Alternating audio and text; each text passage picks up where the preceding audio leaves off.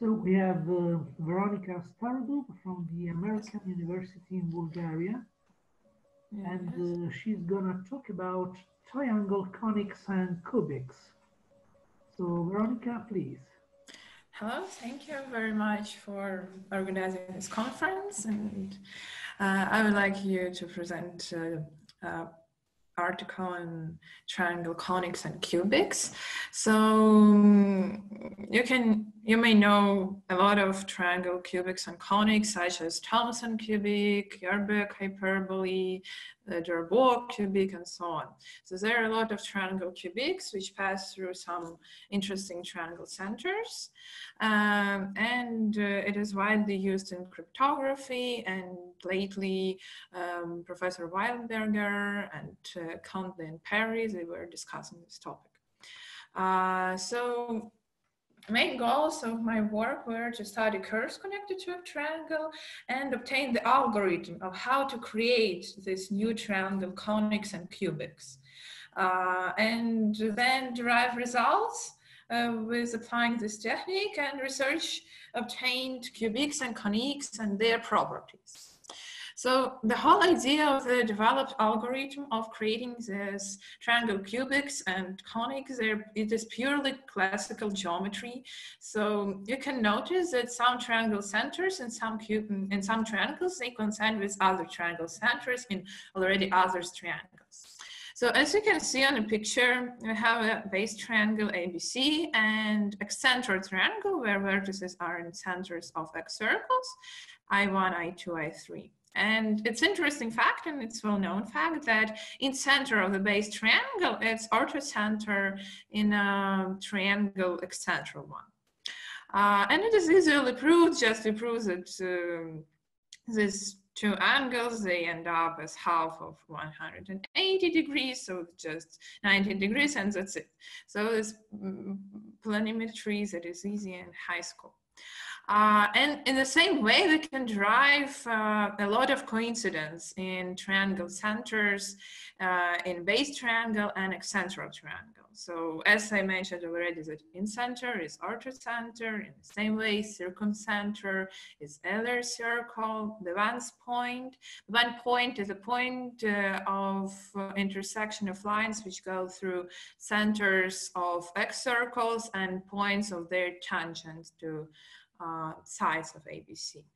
Uh, so Bevan point in a base triangle is circumcenter of eccentric triangle. Mittenpunkt uh, is another triangle center is Lemoine point or point of intersection of symmedians and so on and so forth. So there are some uh, triangle centers in the base triangles that coincide with triangle centers in eccentric triangle. And some of these properties were proved before, some of them were proved by myself. Uh, for example, a Spieker point is the same as Taylor point in a eccentric triangle. Uh, but it is just uh, interesting facts about the geometry of triangle.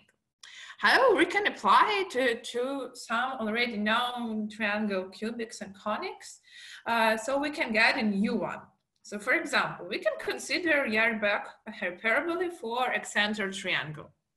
Uh, and um, Jerabek hyperbole is such hyperbole which passes through vertices of a triangle, ABC, as you can see here, circumcenter, Lemoine point, uh, orthocenter, and is diagonally conjugated to the de Longchamps point. de Longchamps point is just um, a mirrored uh, circumcenter with respect to orthocenter. Uh, so it is well known Jerabek hyperbole. However, if we look on it uh, and on points on this hyperbola with respect to the base triangle, not with respect to the eccentric triangle, then we can notice that this hyperbole passes through uh, now vertices are ABC, but the previous ABC, vertices of the previous triangle, are right now centers of excircles. Then we can say that, well, um, circumcenter of excircle, X central triangle is the Bevan point in the base triangle in ABC. Uh, then we can say, okay, symmedian point in eccentric triangle is Mittenpunkt in a base triangle. So we use just this coincidence and just make um, this transfer of one point to another. So then we say that is diagonally conjugated point or de Longchamps point and de Longchamps point in a base triangle, not in an eccentric triangle. In, and in this way, we obtain a new hyperbole, which passes through uh, excentrals, the Bevan point, Mittenpunkt, incenter, and de Longchamps point. And it was not proved before, and it's pretty nice result. However, we can use this uh, technique for different already known uh, curves in triangle and to different triangles. So um, according uh, to the coincidence in an external triangle, um, we may make some conclusions about Thomson cubic as well. So we may consider Thomson cubic um, with respect to the base triangle. So Thomson cubic is such cubics that passes through vertices of a triangle, through excenters, through middles of the side of triangle, M1, M2, and M3, as you can see in the picture, and plenty of triangle centers. Actually, this cubic is called sometimes a cubic of 17 points because it passes through a lot of triangle centers, such as circumcenter, midpoint, uh, centroid and center, median point or Lemoine point, uh, and is another conjugated point to the median point with respect to excentral triangle. And now we can do the same thing as previously. We can just use this coincident of points and just name other points uh, with other definitions because they're different points for uh, eccentric triangles. So uh, now we put vertices in a vertices of eccentric triangle. So now we have ABC here.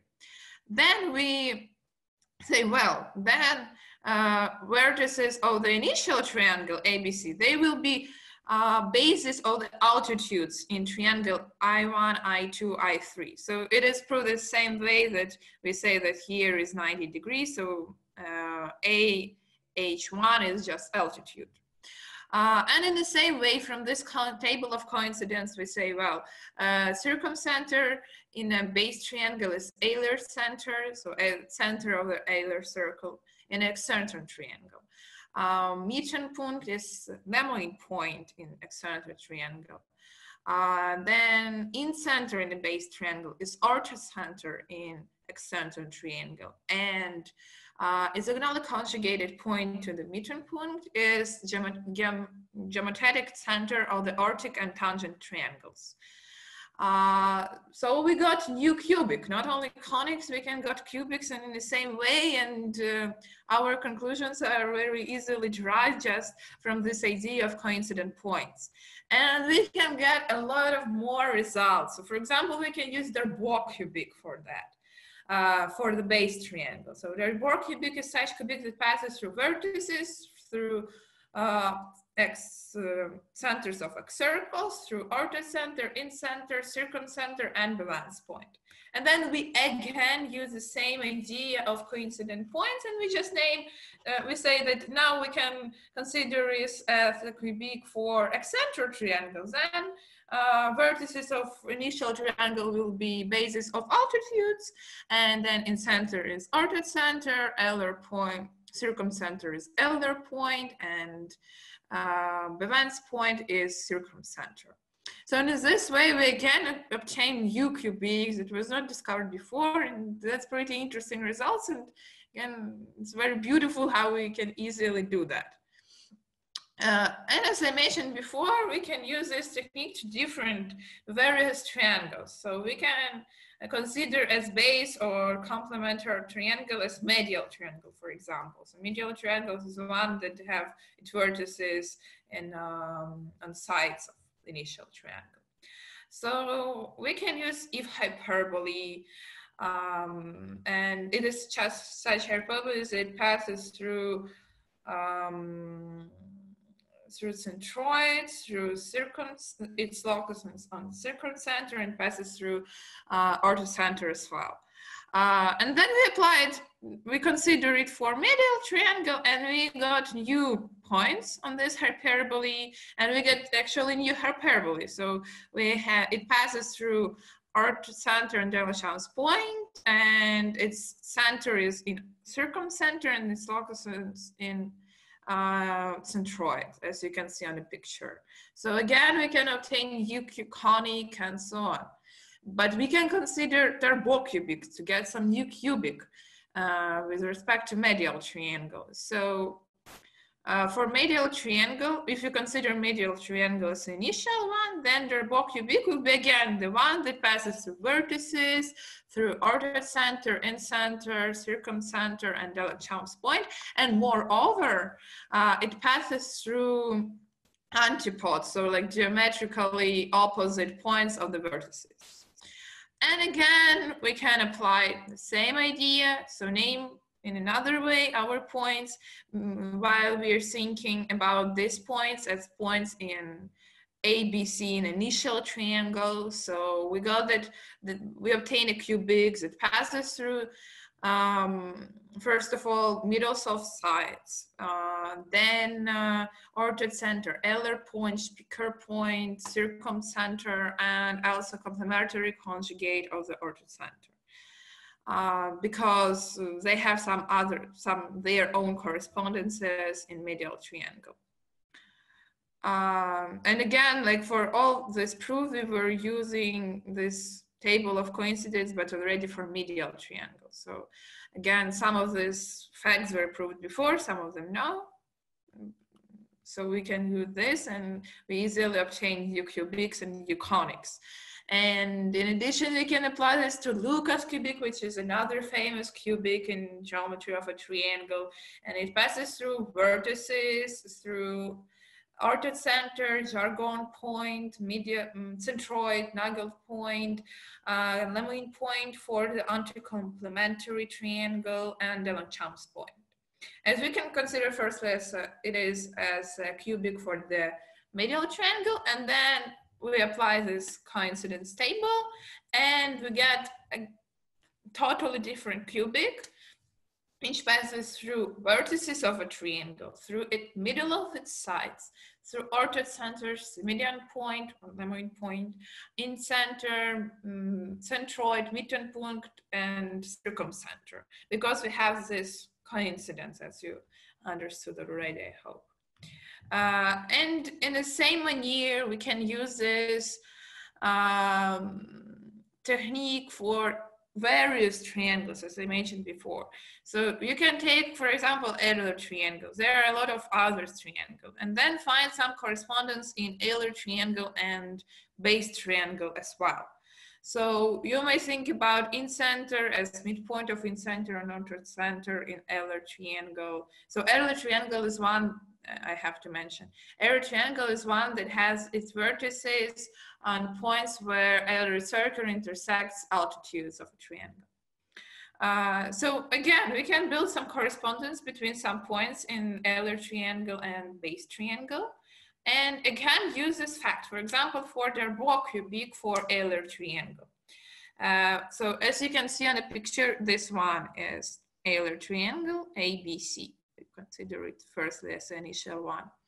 And Darboux cubic, as we were mentioning before, it's just a cubic that passes through the de Longchamps point, circumcenter, incenter, orthocenter, and moreover through vertices of a triangle and its antipodes, so diametrically opposite of them.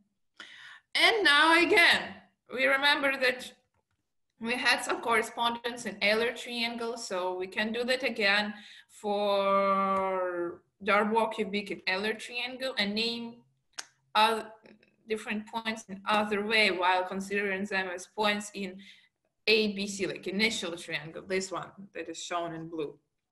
Uh, so then we, we can get like very significant results. Uh, we get an U cubic that passes uh, through, uh, first of all, it passes through vertices of Euler triangle.